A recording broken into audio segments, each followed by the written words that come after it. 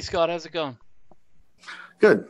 Uh, a, fighter I asked you about right before Christmas and who has, has made a name for themselves without going anywhere near your cage or a boxing ring, Dillon Danis. What's the plan for him going forward? He's not going to be boxing.